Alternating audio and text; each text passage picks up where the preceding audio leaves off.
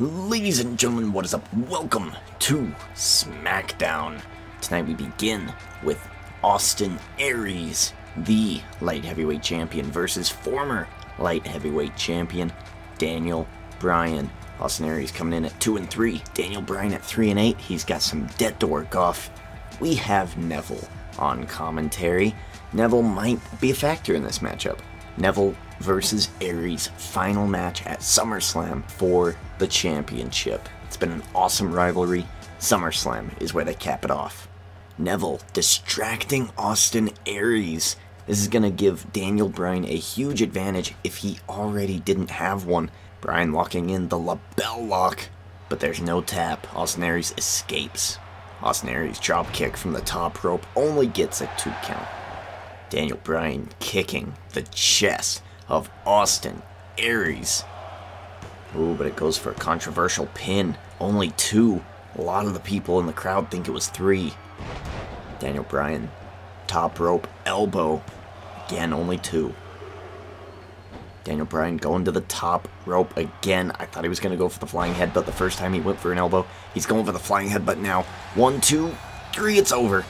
Daniel Bryan winning this matchup, working off his debt for that rivalry that he lost against Dean Ambrose. The following matchup is an Extreme Rules Tornado Tag Team matchup.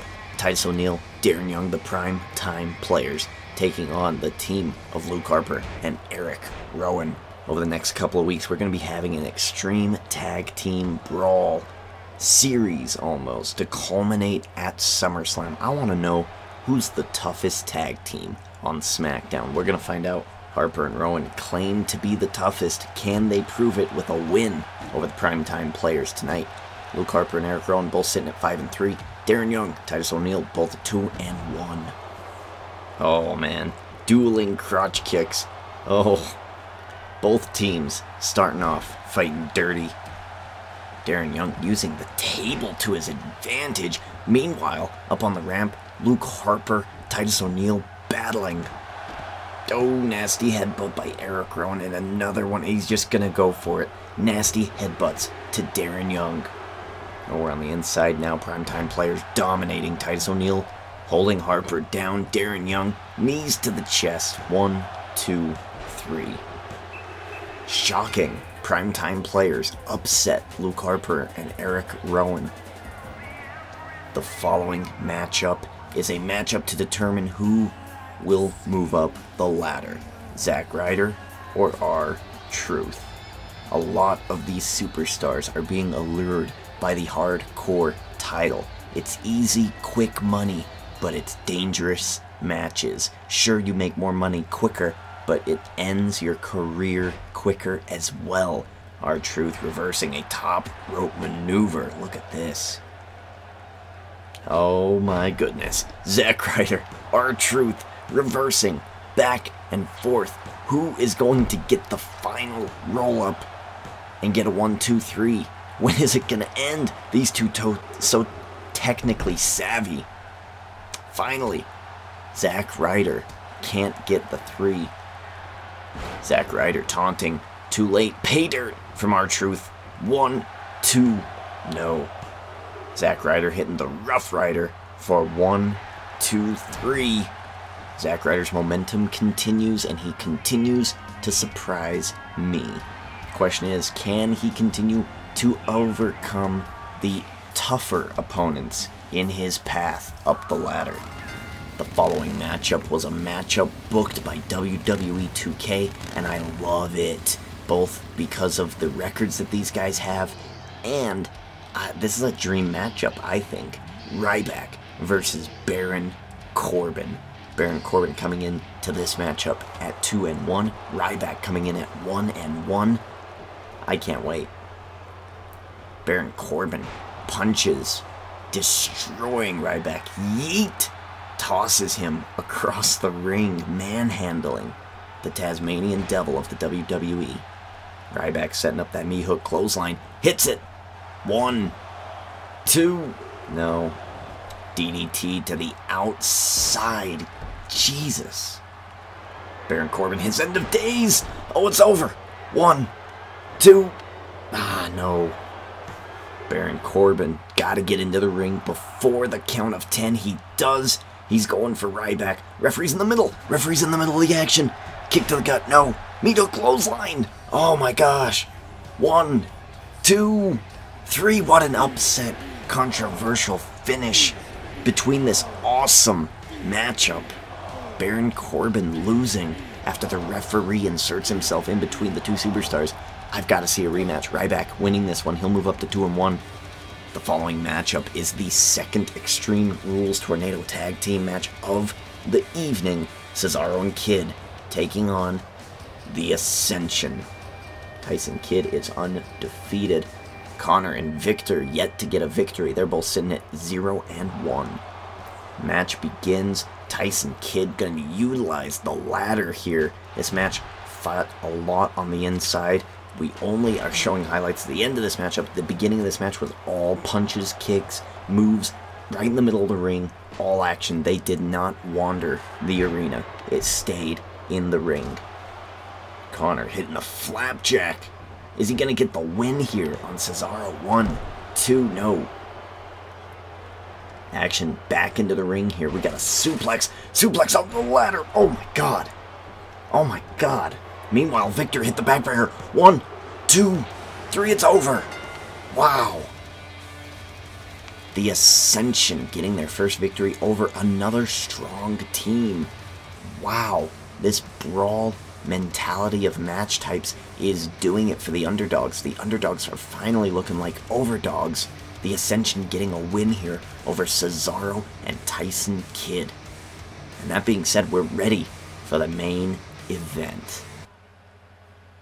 From Houston, Texas, it is time for the main event of the evening. AJ Styles taking on D. D'Lo Brown. Let's get their stats up. AJ Styles coming in with $26,000 in the bank. He's got 12 and 6 as a record, 73 superstar points. He is your cruiserweight champion. It's impressive. He's facing, however, an undefeated former Nation of Domination member, D'Lo Brown. This rivalry coming about because it was randomly selected and I allowed it to go through. I like D'Lo Brown. It's for the Cruiserweight Champion Championship, which is perfect for D'Lo Brown. I really, really like it. The only thing I don't like about this version of D'Lo Brown is that it's not his best version. I really don't like when the game puts in a horrible version of a uh, of a character, and this is a horrible version of D'Lo Brown. It's like putting in stunning Stone Cold Steve Austin. Nobody plays as stunning Steve Austin. They always play as Stone Cold because why would they not? Does that make sense? D'Lo Brown versus AJ Styles. Main event. We're going to be breaking character here. I know the episodes lately have been super in character, so we're going to switch it up in this uh, while we watch this matchup. We're going to be talking a little bit about the Extreme Rules pay-per-view because, of course, AJ Styles is a part of that. So there's ties there. And I'm I'm going to give you my thoughts on that. D'Lo Brown versus AJ Styles. First, let's see. Last week, D'Lo Brown affected the match that AJ Styles had, and he did so in a way that was good for him. He has momentum. He's 3 and 0. I'd love to see him go 4 and 0 if he defeats AJ Styles here tonight. He makes $10,000. He is eligible to challenge AJ Styles for the Cruiserweight Championship. There's a lot of different ways we can go at SummerSlam for the Cruiserweight title or for the uh, light heavyweight title, even though the light heavyweight title is going to be a rematch Neville versus Austin Aries. The Cruiserweight title is very interesting, though. I still have no idea who is going to get that fight at SummerSlam.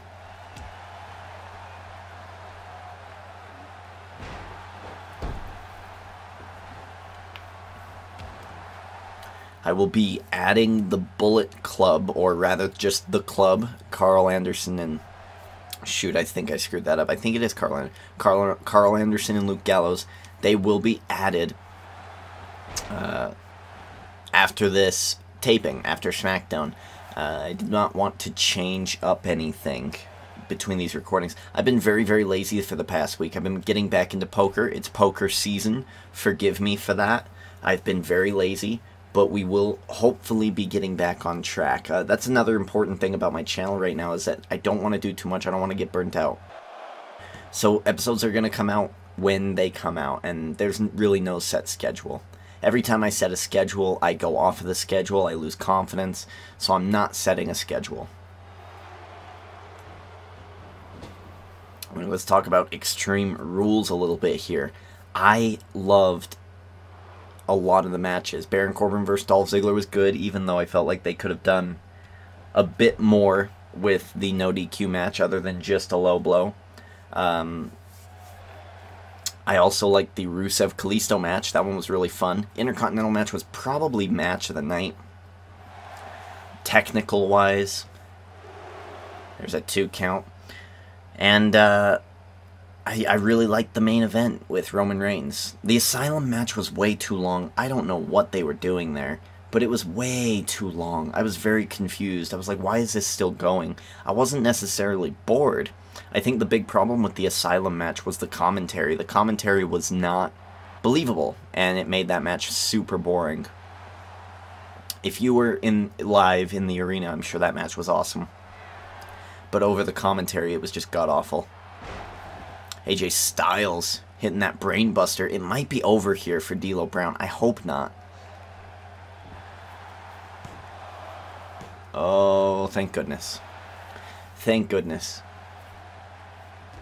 Come on, D'Lo. I gave Natalya D'Lo's uh, Sky High finisher because I like that finisher.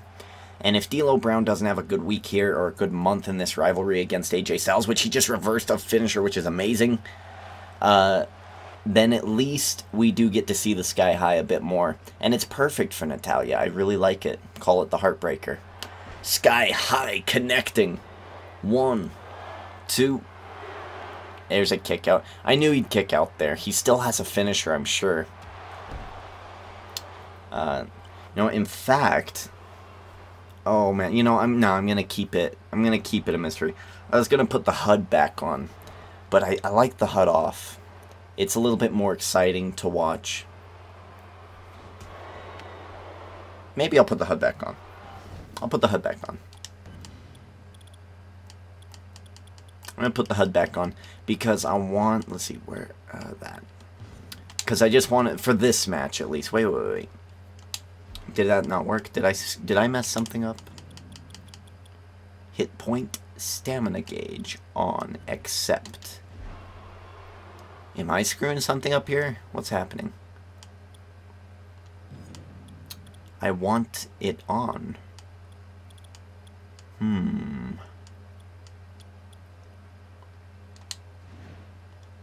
Alright, let's turn it off. Now let's turn it on. Damn it. That's annoying. Um, okay. Okay. That's really annoying. Uh, I'm certain that we've had it on before. Hmm. Anyway, uh, yeah, so Extreme Rules was okay. It wasn't awesome, but it was okay. I loved the main event. I loved Rusev winning. I loved all that fun stuff. But, uh, I mean, the Divas match was fine. Uh, the the Asylum match was very slow. It was the commentary's fault, I feel like, most of the pay-per-view. Get rid of Byron. You got to get Corey Graves in there. You got to.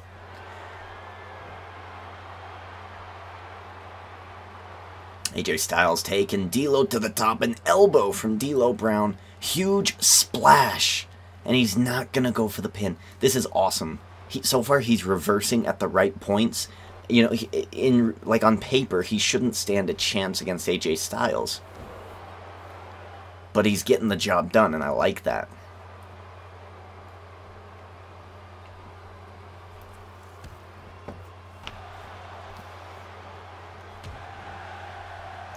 Come on, D'Lo. I'm a fan of D'Lo Brown. Again, if you want to watch with me on the WWE Network, at this time, I think I'm on episode 303 of Monday Night Raw. When SmackDown debuts, I will be watching those as well. So, if you want to follow along and uh, have some fun while I go through the history of wrestling, go for it. Because this this is the time when I didn't watch wrestling. I didn't get to see D'Lo Brown with Victoria, or not Victoria, um, Ivory. Oh come on, D'Lo, thank you. That would have been a horrible way to end it. Come on, D'Lo.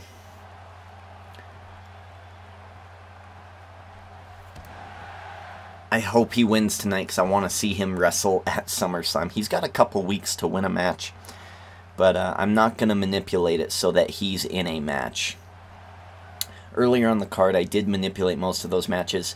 The only one that was created by uh, the the the game was Baron Corbin versus Ryback, and I liked that matchup so much. But all the other ones were just kind of silly. I wanted to do something else with this SmackDown card. Yes. you better recognize. I love D'Lo Brown. Nice leg drop. Going for the win. One, two, kick out. Good. That's a good kick out. It might have drained the finisher that AJ Styles could hit for the, um, whatever that John Cena type kick out move is. Tilt-a-whirl slam. He's going to the top. Maybe going for a frog splash. He's got to have the chest protector. I can't believe they don't have that for him. Maybe I'll change his attire for SummerSlam, if he makes it. Elbow drop. Come on, D'Lo. What's funny is the stuff that the superstar right there is doing right now, that's what D'Lo does in the middle of matches. It's, it's hilarious. Again, you should watch it with me, episode 303. Oh, moonsault! Oh, damn it. Damn it. Oh, come on, D'Lo. Reverse. Shit. Damn it. Busted him open. It's over. One, two, three. Shit, man. He got caught. He got caught. Uh, so yeah, if you want to talk about Extreme Rules, let me know below. Of course, Seth Rollins coming back. I'm super stoked about that. Wrestling's in a good way right now. Even Roman Reigns is doing good. Uh, I like him in the role of him being a, a, a dick, almost.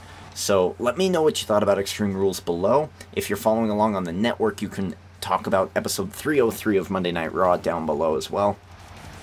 And, uh, damn, D'Lo, you were so close. This is where he screwed up. Bam.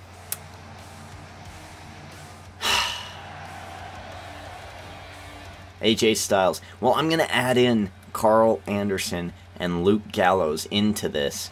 And they're going to be on SmackDown and expect them to debut next week. Maybe. Again, I shouldn't make guarantees, but that's what I'm looking for. That being said, ladies and gentlemen, thank you for watching. It has been another episode of GM Mode. Slap a like on it.